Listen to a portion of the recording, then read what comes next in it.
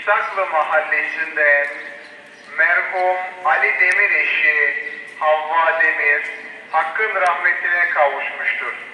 Cenab-ı gün öğle namazına müteakip İshaklı Mahallesi Merkez Camii'nde kılınarak aynı yerdeki aile mezarlığında toprağa verilecektir.